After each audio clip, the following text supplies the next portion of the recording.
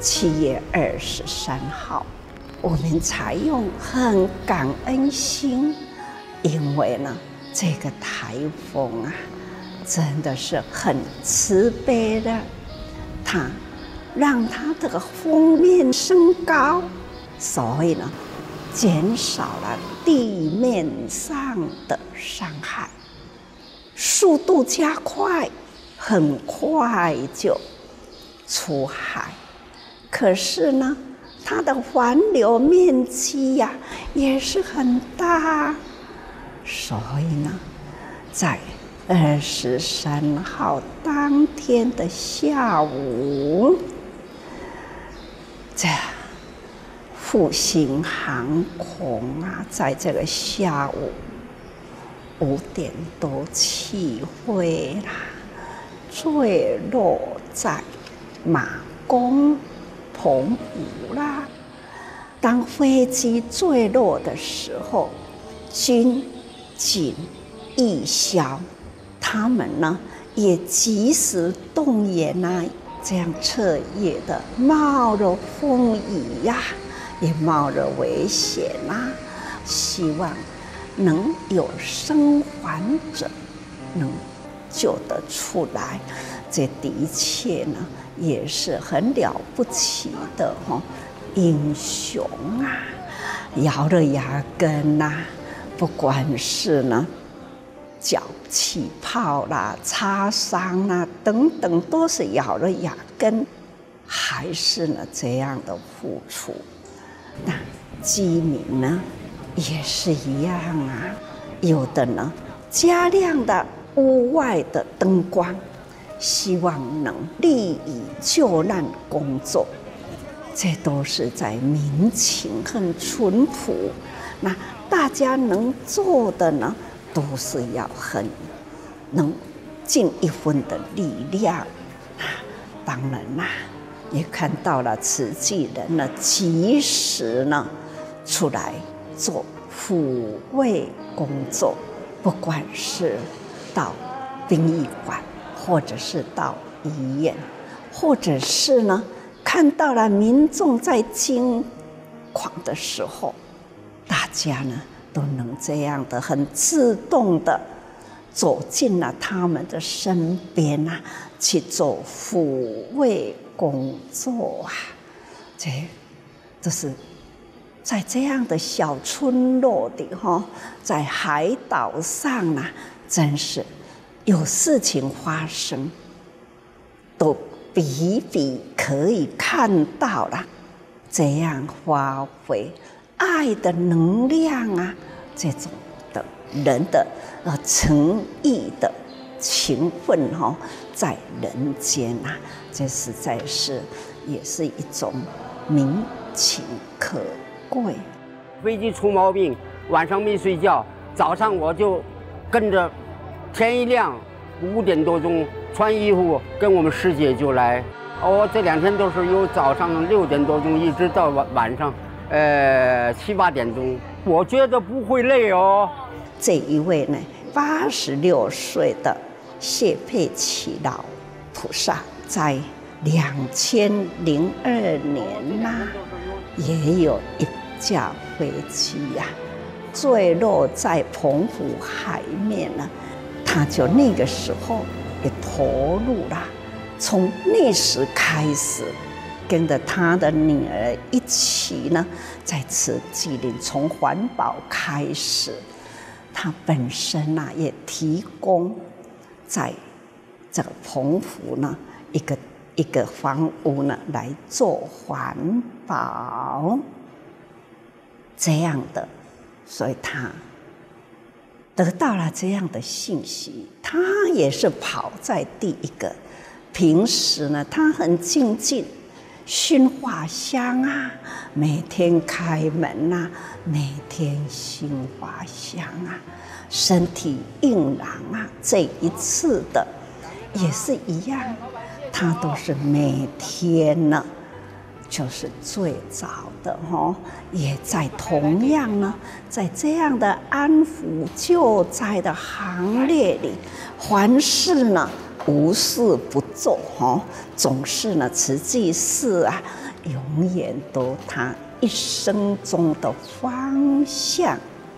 其实他也是从军中退休下来的，他定居在彭湖里哈。那退伍以后呢，全心投入了，还是一个很令人敬佩的。这几天来，我们也慢慢看到了罹难者在澎湖啊，人人呢称他是国宝之一，那叫木工雕刻者。据说啦，台湾呢。很多的庙宇啊，很细雕的哈，那样的工手都出在了这一位哈啊这一位师傅里哈叶根壮老先生，他也都是在这一次的复兴航空这一架飞机里呢，那已经消失了。啊，也有呢，尽忠所指的哈啊，因为台风的时候他在台湾，台风过后他就要急着，所以搭上了这一班飞机呢，回到了澎湖，就是在这样的已经啊遇难了啦啊，因为呢。李明川先生，他是四十七岁，同样呢也受到了他们的的同仁呐这样的不舍，这样的怀念的哈，这都是很令人也不舍哈。那还有宪兵的忠孝啊，这都是人才，国家的人才也同样呢。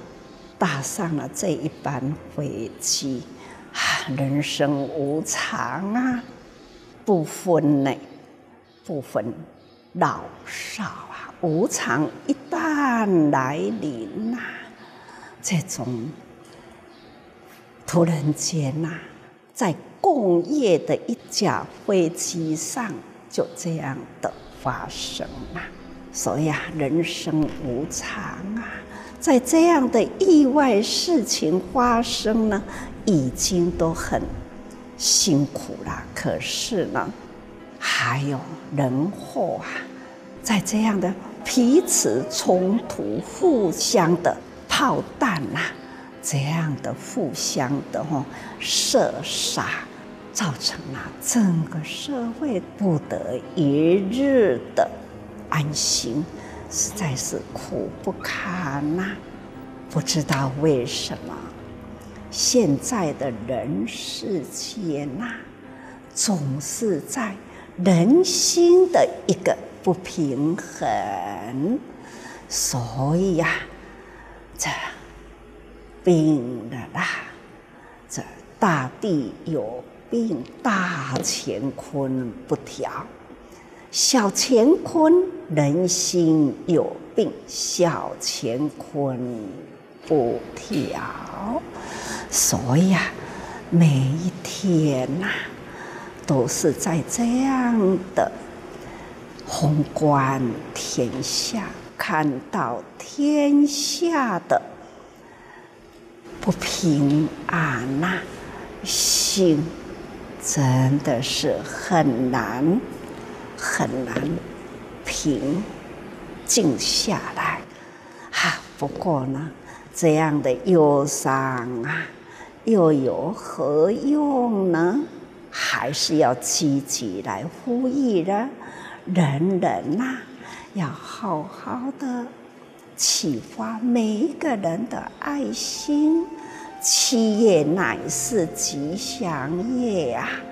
我们借种了七业呢，多来服役哈，救度众生，再也不要造恶业啦，不要造杀业啦，转杀业啊，污染大地气候，把它转成了呢？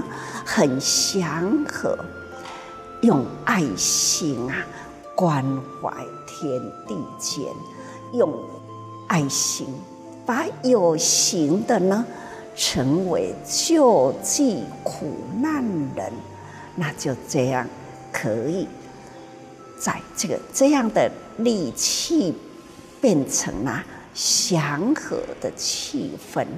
这都是我们可以尽心量能做得到的事，好吧？总而言之啊，我们还是尽每一个人的一份心力哈。菩萨早生启发爱心。